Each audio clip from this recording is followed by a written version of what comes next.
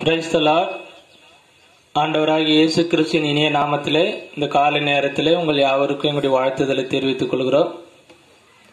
தினம் ஒரு கேள்வி என்ற தலைப்பில் ஆதி ஆகமத்திலிருந்து கேள்வி கேட்டுக்கொண்டிருக்கிறோம். கத்துடைய வார்த்தை இந்த நாளில் ஒன்று பேதுரு ரெண்டாம் அதிகாரம் மூன்றாவது வசனம். நீங்கள் வளரும்படி புதிதாய் பிறந்த குழந்தைகளைப் போல திருவசனமாகிய கலங்கமில்லாத ஞானப்பாலின் மேல் வாஞ்சியாயிருங்கள்.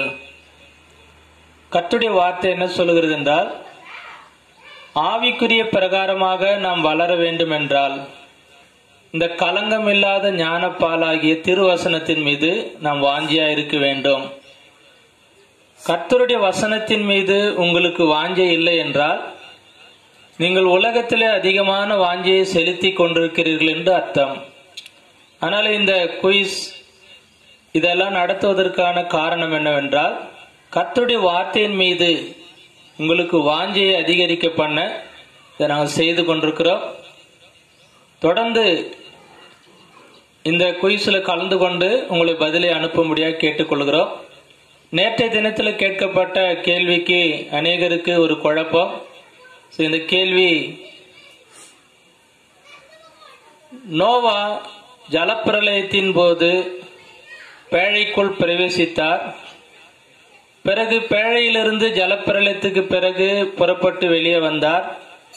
எத்தனை வருடம் எத்தனை மாதம் எத்தனை நாள் அவர் பேழையில் இருந்தார் என்று கேட்டிருந்தோம். ஆறுநூறாவது வயது கணக்கு பண்ணி சிலர் ஒரு வருடம் இரண்டு மாதம் இருபத்தி ஏழு நாட்கள் என்று பதில் அனுப்பியிருந்தீர்கள். கர்த்தருக்கு ஸ்தோத்திரம்.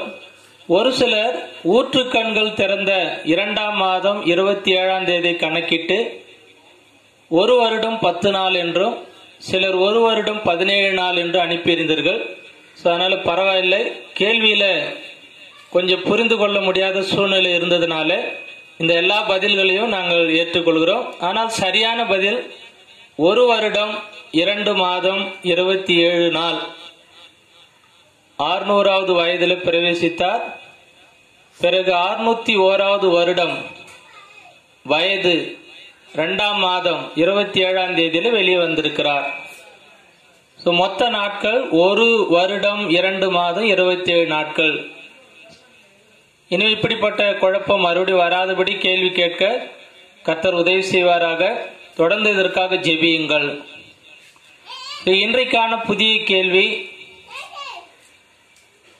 இரண்டு பேர் தன்னுடைய மனைவி சகோதரி என்று சொல்லியிருக்கிறார்கள். ஒன்று ஆபரகாம் இன்னொன்று ஈசாக்கு. ஈசாக்கு தன்னுடைய மனைவி சகோதரி என்று சொன்னாலும் அது பொதுவான வார்த்தை. ஆனால் இந்த ஈசாக்கு ரெபேக்காலுக்கு சரியான முறை உறவு முறை என்ன வரும்? ஈசாக்கு ரிபாக்காலுக்கு என்ன உறவு முறை இதை கண்டுபிடித்து என்னுடைய WhatsApp number. Nine eight four three eight four nine five seven zero இந்த நம்பருக்கு அனுப்புங்க. அநேகருக்கு நீங்கள் பகிர்ந்து கொண்டிருக்கிறீங்க நிறைய பேர் சப்ஸ்கிரைப் பண்ணுறீங்க உங்கள் யாவருக்கும் என்னுடைய நன்றி. தொடர்ந்து இந்த வீடியோவை உங்களுக்கு தெரிந்தவர்களுக்கும் விசுவாசிகளுக்கும் பிரயோஜனப்படும்படி மற்றவர்களுக்கும் ஷேர் பண்ணி உதவி செய்யும்படியாக கற்றாகி இயேசு கிறிஸ்து நாமத்திலே கேட்டுக்கொள்கிறோம். பிரைஸ் தலாட்